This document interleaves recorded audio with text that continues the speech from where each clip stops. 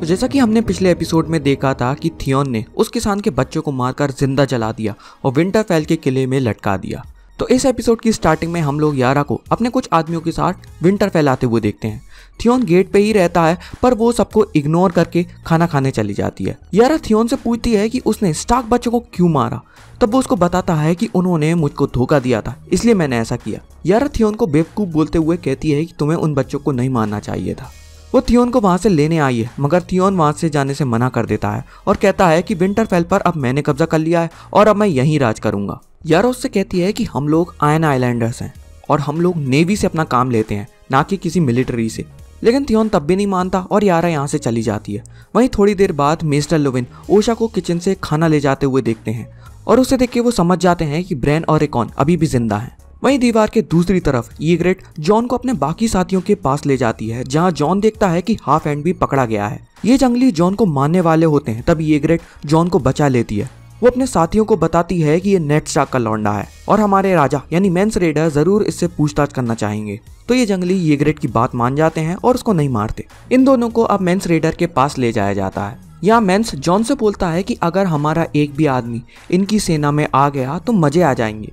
John भी समझता है कि हाफ़ एंड कह क्या रहा है, लेकिन वो कहता है कि ये लोग मेरे पे भरोसा नहीं करेंगे। तब हाफ़ एंड और जॉन एक झूठी लड़ाई का नाटक करने लगते हैं और सबके सामने हाफ़ एंड जॉन को नीचे धकेल देता है। वहीं सैम और उसके दोस्तों को बंकर खोदते टाइम एक पत्थर मिलता है, जिस पर कुछ निशान बने रहते हैं। इस निशान को देखकर सैम समझ जाता है कि नाइट वॉच वालों ने ही ये यहाँ पर रखा होगा। जब ये लोग इस पत्थर को हटाते हैं तो उसके नीचे इन लोगों को ड्रैगन ग्लास और एक हॉर्न रखा मिलता है और सैम इस ड्रैगन ग्लास को अपने पास रख लेता है। वहीं क्रेक में रॉब स्टाक टेलिसा के साथ एक मस्त रोमांटिक वॉक पर निकला होता है। तभी वहाँ उसका एक सिपाही आकर उसको बताता है कि जेमी लेनिस्टर भाग गया है और उसको किसी और ने नहीं, बल्कि आपकी माँ, कैटलीन स्टार्क ने आज़ाद किया है। जैसे ये बात रॉब को पता चलती है, वो तुरंत रिवर एंड पहुँचता है और सीधा अपनी माँ, कैटलीन स्टार्क के पास जाता है उनसे पूछता है कि आपने ऐसा क्यों किया? तो तब कैटलीन उसको बताती है कि ये उसने अपनी बच्चियों के लिए किया। रॉब को इस बात से बहुत गुस्सा आता है और वो अपने सबसे तेज घोड़ों के साथ अपने 80 आदमियों को जेमी के पीछे भेज देता है। वहीं ब्रियन, जेमी को लेके किंग्स लैंडिंग की तरफ़ निकल जाती है। वो लोगों की नज़र में ना आए, इसलिए वो नदी के सहारे आगे बढ़ती है और अपने घोड़े को कहीं और छोड़ देती है। जिमी रास्ते में उसके बहुत मज़े लेता है और तो और उससे मिसबिहेव भी करता है। इससे ब्रियन को बहुत गुस्सा तो आता है, लेकिन वो कोई रिएक्शन नहीं देती। रात के वक्त लॉर्ड बोल्टन रॉब को बताते हैं कि उनका बास्टर्ड लौंडा बहुत ही जल्द विंटरफेल पहुँच जाएगा। और वो रॉब को अश्योर भी करते हैं कि थियोन उनके भाइयों को कुछ भी नहीं करेगा, क्योंकि वो बहुत ही वैल्यूबल प्रिजनर्स है उसके लिए। रॉब यहाँ ऑर्डर देता है कि अगर थियोन को छोड़कर कोई दूसरा आयन आइलैंडर सरेंडर करे तो उसको छोड़ देना, क्योंकि थियोन को तो मैं खुद मारूँगा। इसके बाद यहाँ टेलिसा आती है और लॉर्ड बोल्टन वहाँ से चले जाते हैं। टेलिसा और रॉब एक दूसरे को अपनी लाइफ का रोना सुनाते हैं और फिर एक पॉइंट पे दोनों ही इमोशनल होके फ़िज़िकल हो जाते हैं। वहीं हेरन हाल में केविन लेनिस्टर, टाइविन को बताता है कि स्टेनिस दो दिन के अंदर किंग्स लैंडिंग पहुँच जाएगा और हमले के एक घंटे के अंदर वो किले में घुसकर सबको मार देगा। तो अगर जॉफरी अभी ही वहाँ से भाग जाए तो वो बच सकता है। टाइविन को ये आइडिया सही नहीं लगता और वो कहता है कि जो राजा थ्रोन को छोड़कर भाग जाए, वो ज़्यादा टाइम तक राजा नहीं रह सकता। और तो और रॉब स्टार्क भी अब कासली रॉक के बहुत पास आ चुका था। तो टाइविन, रात को किंग्स लैंडिंग निकलने का फैसला करता है और कहता है कि हम सब लोग रात भर चलेंगे ताकि किसी को भी ना पता चले। वो आर्या को वहीं हेरन हाल में रुकने को कहता है।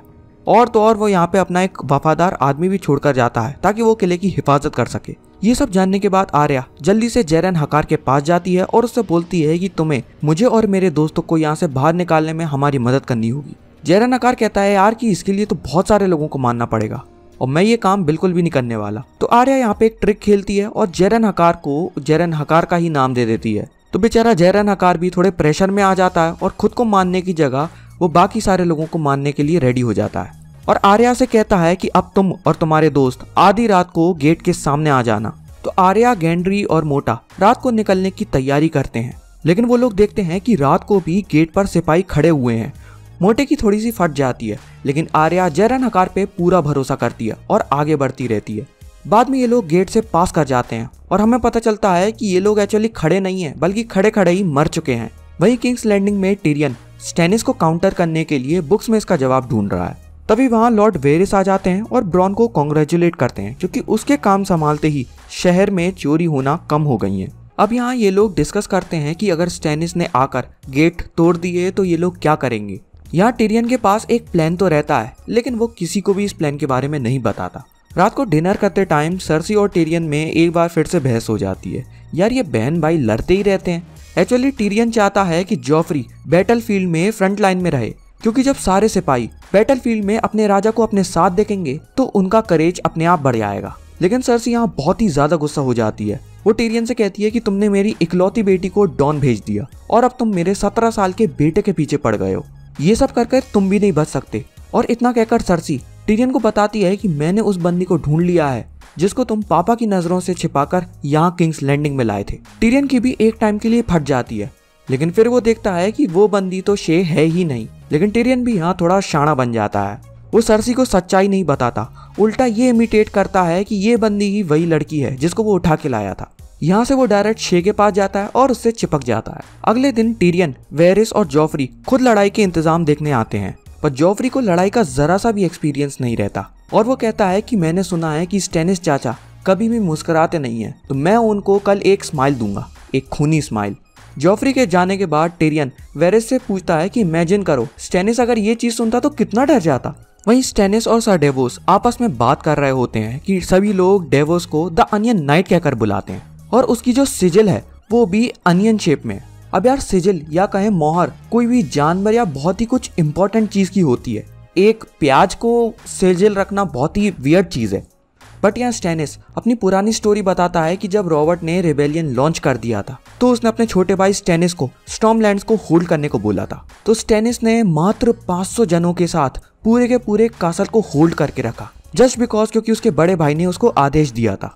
लेकिन ये लोग चारों तरफ़ से घिरे थे तो इनके पास खाने पीने के लिए कुछ भी नहीं था। सरवाइव करने के लिए स्टेनिस और उसके आदमी ने सबसे पहले अपने घोड़ों को मारकर खाया, फिर बिल्लियों को, फिर कुत्तों को और फिर अंत में चूहों को। लेकिन एक दिन सर डेवोस समंदर के थ्रू प्याज को स्मगल करके लाए और इन लोगों की जान बचा ली। इसलिए स्टेनिस सर डेवोस को इतना ऊपर मानता है। और वो सर डेवोस से ये भी बोलता है कि जब मैं आयन थ्रोन पर बैठ जाऊँगा तो मैं आपको अपना हैंड क्लियर कर दूँगा। वही समंदर पार डेनेरिस का अलग ही मैटर चल रहा है। वो अपने ड्रैगन को ढूंढ रही होती है। तभी वहाँ जोरा आता है और कहता है कि एक शिप एस्ट्रा पोर के लिए निकलेगा और हमको जल्दी से कार से निकल जाना चाहिए। अब ये सुन के डेनेरिस भड़क जाती है और कहती है कि वो अपने ड्रैगन के बिना कहीं नहीं जाएगी। और अगर तुम्हें जाना है तो तुम यहाँ से चले जाओ। जोरा कहता है कि, खलीसी, मैं आपको कभी भी अकेला छोड़ के नहीं जाऊँगा। डेनेरस कहती है कि, फिर चल मेरे साथ जादूगर के घर पे। और इस तरह ये एपिसोड यहीं एंड हो जाता है।